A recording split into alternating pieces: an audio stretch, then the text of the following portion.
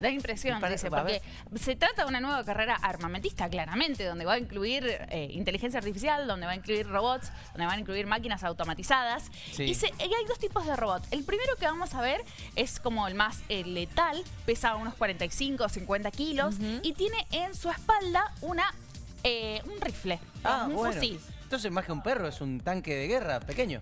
Exactamente, por eso dije que iba a dar un poquito de miedo la situación. Este perro eh, puede entrar eh, en- rápidamente en un ejercicio de asalto. Por ejemplo, puede producirse una explosión y que el perro ingrese, eh, apuntar a los objetivos, neutralizarlos y que así, por ejemplo, el ejército Los famosos pueda... perros girosos, Gisela, ¿no? Eso como para tener. Bueno, antes de entrar a tu casa lo largás. No, es No, bueno, que, que vaya y que vea, que monitoree si no hay nadie adentro. borra- Claro, borramos esto. puede ser este, este que acabas de ver ahora. Pero si es un robot. Claro. Pero este que estamos viendo ahora es, tiene 15, ki- pesa más o menos 15 kilos Sí. eh, y tiene cámaras. Tiene una Sí. cámara que eh, sirve para toda la fase en la guerra, se llama esta fase de reconocimiento, Sí. donde las dos partes se investigan, salta. Sí, sí, sí. ¿Pero sí. por qué no hacen un perro Salta, para retrocede, acariciar? se acuesta. También está Juli. Ah, está. Y Bien. envía imágenes en tiempo real. Entonces, eso es como para la fase esta que estamos hablando. Claro. Ojalá Claro. que no existiera, ¿no? No, se Que no se- que no lo que dije. que Yo estaba hablando del perro robot. Ah, no, si lo entendimos, por favor, te lo chiste. No, pero sí, vos querés el perro robot con cámaras, dice, para que te- Claro, que te, para alerte de cualquier situación. Totalmente, monitoreando. Bueno, y este segundo que estamos viendo, bueno, este es el primero que les contaba, que es el más pesado, que tiene Sí. el fusil en su lomo, eh, puede atacar y demás, incluso está, eh, eh, puede moverse solo, eh, y es una clave, obviamente, en este tipo de combates que ojalá, repito, no existiesen.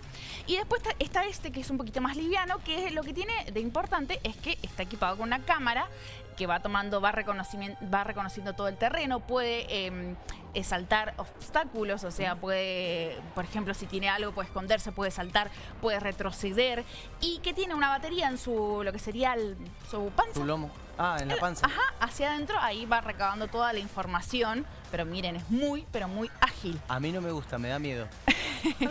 Raro estaba pensando para la pileta, ¿viste? Cuando el, vera- el verano que te olvidaste ¿Qué? las cosas adentro. Ah, de- para que vaya- las cosas.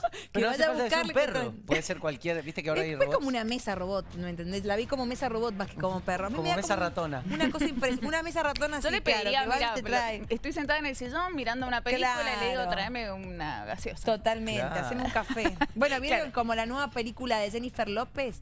Atlas. No, no, No, sé si lo- no, no la han visto.